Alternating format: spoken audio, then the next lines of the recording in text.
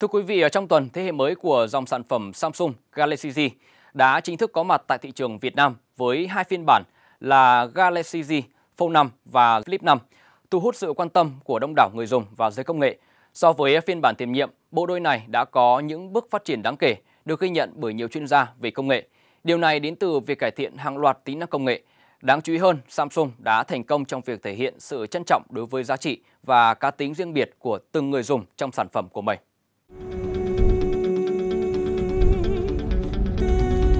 Thông điệp nhập hội linh hoạt của Samsung đã trở thành lời mời tới những tín đồ công nghệ tại sự kiện ra mắt Unpacked năm nay diễn ra tại Seoul, nơi giao thoa giữa đỉnh cao công nghệ và các giá trị văn hóa truyền thống. Hội linh hoạt không đơn thuần là những thiết bị, đó là nơi hội tụ những người trẻ bản lĩnh, dám thay đổi, nghĩ ngược, làm được, tự do thể hiện bản thân, tỏa sáng với bản sắc của mình. Samsung kêu gọi người dùng tự tin bước qua mọi rào cản, phá bỏ những khuôn mẫu thông thường để linh hoạt đón nhận những điều mới mẻ, khai phá lối suy nghĩ khác biệt và tiềm năng vô hạn từ bản sắc riêng của mỗi cá nhân. Trong hành trình đó, hãng luôn tôn trọng bản sắc và mong muốn góp phần tôn vinh những nét văn hóa độc đáo của từng địa phương. Trên tinh thần đó, tại một đất nước có nền văn hóa vô cùng phong phú cùng thế hệ dân số trẻ dồi dào, năng động, Samsung Việt Nam đã khéo léo thúc đẩy sự phát triển của những cộng đồng tiểu văn hóa bản địa, lan tỏa tinh thần nghĩ ngược làm được, trở thành thị trường điển hình của Samsung toàn cầu.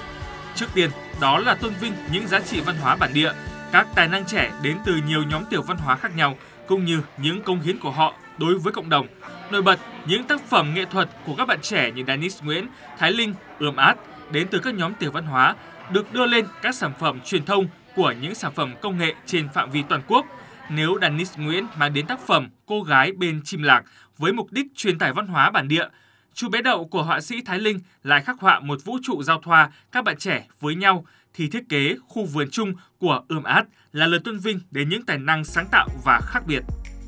Và lần đầu tiên trên thế giới, Samsung đã mang yếu tố nghệ thuật, văn hóa bản địa lên các sản phẩm công nghệ cao cấp. Những sản phẩm nghệ thuật của các bạn Danis Nguyễn, Thái Linh và Ươm Át được đưa vào thiết kế của bộ Flip Suit, ốp lưng thông minh dành cho sản phẩm Galaxy Z Flip 5.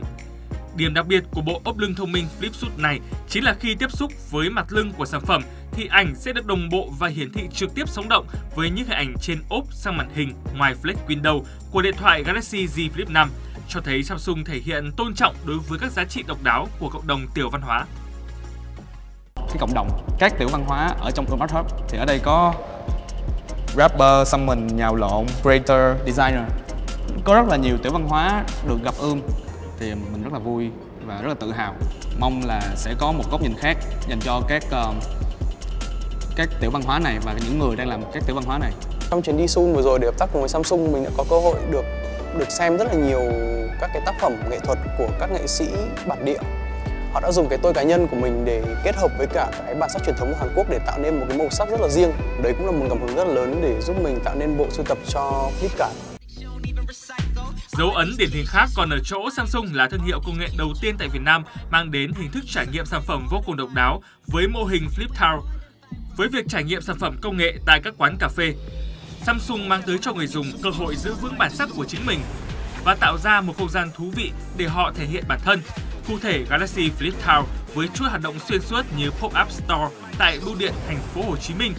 hay chuỗi trải nghiệm nhập hội linh hoạt tại các quán cà phê nổi tiếng và đặc biệt hơn là Galaxy Flip Cafe tại Esmore Cafe không chỉ đơn thuần là địa điểm trải nghiệm mà chính là nơi quy tụ những cá nhân tài năng thuộc cộng đồng Flip Thinker, những người mang trong mình tinh thần sáng tạo và tư duy đột phá, giúp họ gặp gỡ, trao đổi ý tưởng và kinh nghiệm, thúc đẩy sự sáng tạo,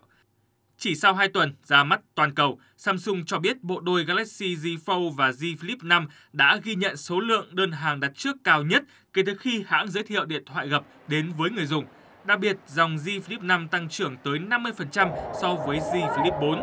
Nhiều người dùng đã rất hào hứng khi là những người đầu tiên nhận hàng sớm tại các bộ App store thuộc Flipstyle. Nó nhỏ gọn thật sự luôn, cái này là đúng là cái mà chị uh, hào hứng nhất khi mà cầm cái điện thoại cảm giác là nó nó vượt ngoài sức mong đợi của mình tưởng tượng. Cái gặp của nó cảm giác là cứng cáp hơn với lại nó khích hơn. Với lại uh, cái nó nó khích hơn với lại cái màn hình ngoài nó to hơn